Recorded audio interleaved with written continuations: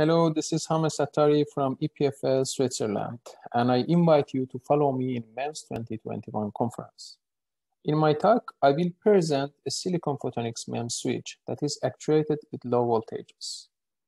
The main feature of this switch is that that is integrated in a standardized silicon photonics platform, that is iSiPP50G of imec.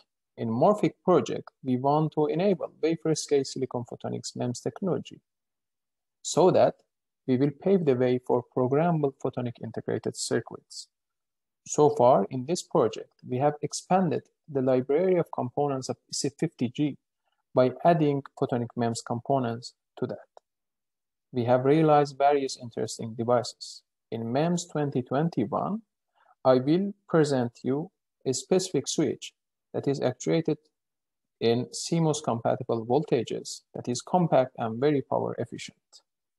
So if you want to know more, please follow my talk. Or if you want to know more about the Morphic project, follow the Morphic project on YouTube, Twitter, and its website. Thank you very much.